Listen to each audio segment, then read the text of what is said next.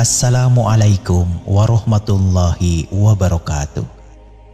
Sahabat surga, izinkan aku menceritakan sekilas kisah keajaiban sedekah yang terjadi kepada salah seorang sahabat Nabi yang bernama Abdurrahman bin Auf.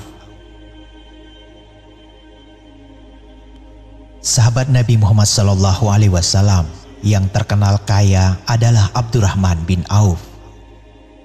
Harta bendanya sangat berlimpah. Meski demikian, Abdurrahman bin Auf terkenal karena kedermawanannya. Lelaki yang lahir 10 tahun setelah tahun gajah itu bertambah kaya raya ketika negeri Yaman diserang wabah penyakit aneh. Bagaimana kisahnya? Mari kita simak bersama-sama. Pada suatu hari, ketika para sahabat berkumpul, Abdurrahman bin Auf mendengarkan sabda Rasulullah Shallallahu Alaihi Wasallam bahwa kelak setelah dibangkitkan dan dihitung amal perbuatan manusia semasa hidupnya, orang yang kaya raya akan lebih lama menjalani perhitungan amal atau hisap dibandingkan dengan orang yang miskin. Dan aku sungguh akan bersama dengan orang-orang fakir dan miskin. Ujar Rasulullah Shallallahu Alaihi Wasallam dikelilingi para sahabat-sahabatnya. Dan sejak saat itu, Abdurrahman bin Auf merenung dan berkata dalam hati, Aku, aku tidak mau berlama-lama saat Yamul Hisab karena kekayaan yang saat ini aku miliki. Ucapan baginda Nabi itu selalu terngiang dalam pendengaran Abdurrahman bin Auf. Hal itu membuatnya gundah. Dan ia, Abdurrahman bin Auf, bercita-cita ingin menjadi seorang yang miskin. Pada suatu malam, ketika ia melaksanakan sholat, ia berdoa kepada Allah. Ya Allah, jadikanlah hambamu ini sebagai orang yang miskin, agar aku kelak dapat selalu bersama orang yang aku cintai, bersama Rasulullah Sallallahu Alaihi Wasallam. Demikian doa yang dipanjatkan Abdurrahman bin Auf. Hari berganti hari Waktu berganti waktu. Abdurrahman bin Auf semakin cemas karena harta kekayaannya justru semakin berlipat ganda.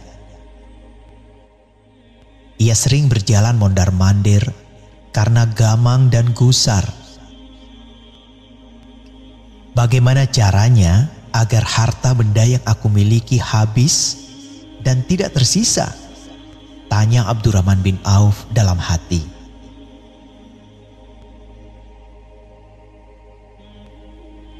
Suatu hari kemudian, sesudah perang tabuk,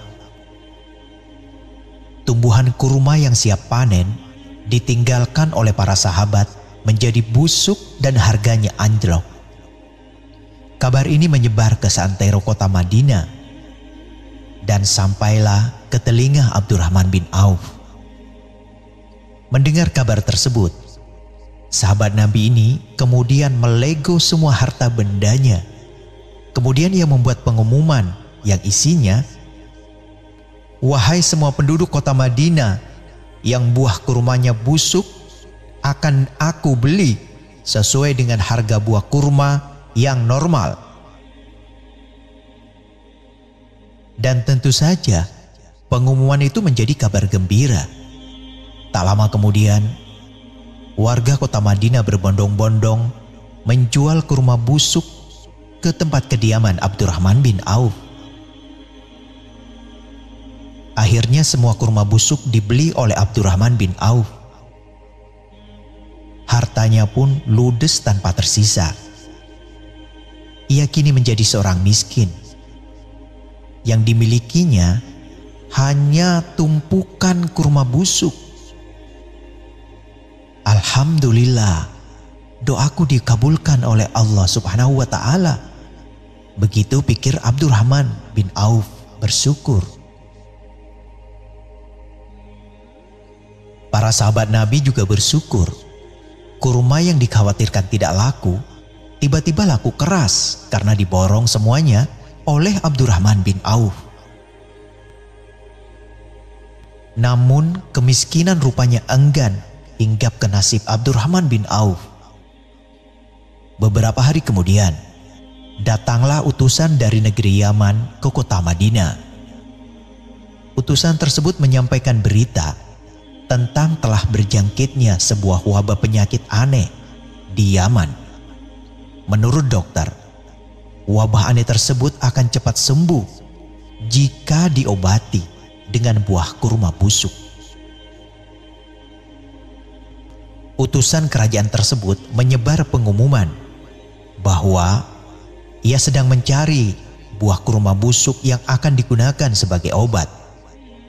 Buah kurma busuk akan dibeli dengan harga 10 kali lipat dari harga buah kurma yang ada di pasaran.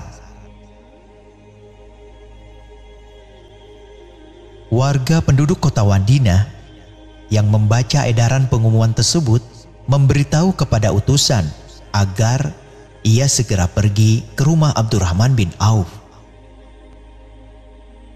Wahai utusan, pergilah ke sana temui seorang yang bernama Abdurrahman bin Auf. Di sana engkau akan menemukan puluhan bahkan tumpukan kurma busuk yang tidak terhingga jumlahnya. Kata seorang warga memberitahu utusan dari Yaman tersebut. Dan tanpa pikir panjang, utusan raja tersebut segera mendatangi rumah Abdurrahman bin Auf mereka pun membeli semua kurma busuk miliknya dengan harga 10 kali lipat dari harga kurma biasa. Masya Allah. Abdurrahman bin Auf semakin kaya raya. Jumlah kekayaannya belum ada yang menandingi karena kurma yang seharusnya tidak laku malah terjual dengan nominal harga yang sangat fantastis. Allahu Akbar.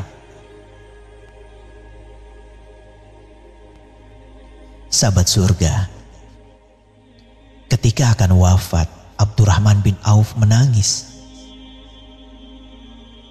Tangisannya bukan karena takut menghadapi kematian, melainkan karena ia wafat dalam keadaan harta yang menumpuk. Ia akan wafat dalam keadaan kaya raya Abdurrahman bin Auf berujar, Sesungguhnya Mus'ab bin Umar lebih baik dariku. Ia meninggal di masa Rasulullah dan ia tidak memiliki apa pun, bahkan kain kafan sekalipun. Atau sahabat Hamzah bin Abdul Muthalib. Ia juga lebih baik dariku karena kami tidak mendapatkan kain kafan untuknya. Dan sesungguhnya aku takut bila aku menjadi seorang yang dipercepat kebaikannya hanya di kehidupan dunia. Aku takut ditahan dari sahabat-sahabatku karena hartaku yang berlimpah ruah. Tutur Abdurrahman. Saudaraku, sahabat surga. Begitu banyak hikmah yang bisa kita petik dari kisah Abdurrahman bin Auf yang justru berusaha ingin jatuh miskin karena ia takut kepada Rabnya. Ia takut kepada Allah subhanahu wa ta'ala. Sedangkan kita adalah kebalikannya. Berusaha sekuat tenaga untuk menjadi seorang yang berlimpah harta, bergelimang kekayaan. Semoga Allah membimbing kita untuk bisa meneladani Kisah Abdurrahman bin Auf, seorang saudagar yang dermawan. Insya Allah. Assalamualaikum warahmatullahi wabarakatuh.